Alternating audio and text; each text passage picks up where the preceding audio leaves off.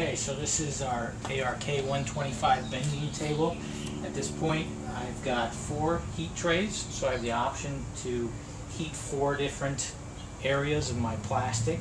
And because it's top and bottom, I'm heating them both sides, which reduces my production time, uh, the amount of time that I need to heat it. And on this particular one, I've only got one tray. I only want to make one bend, so I've only heated one tray. But uh, I want to heat it right about here, so I'm going to move my stop bar into position.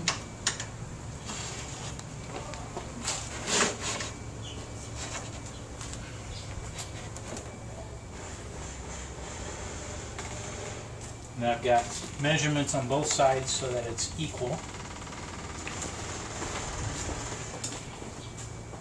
And the air is already hooked up, that's why the top is raised. Uh, as soon as I hook the air up, it raises the top.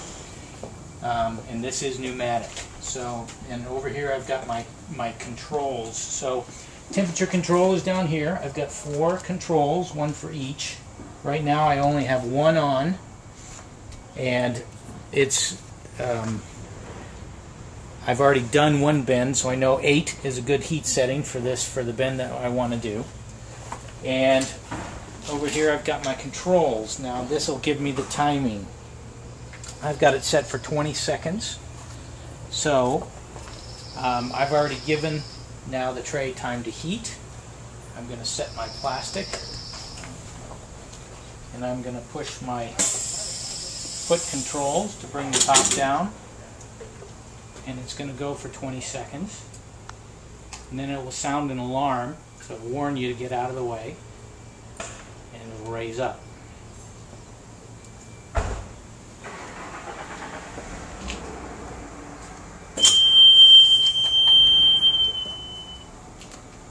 Now I'm ready to make my bend. That wasn't long enough. Bad example, but there we go. Now I can either do it manually or we can put it in our fixture tray, which is a better way to do it. That way we know we're getting the exact angle that we mm-hmm. want. So, that's it. That's the example.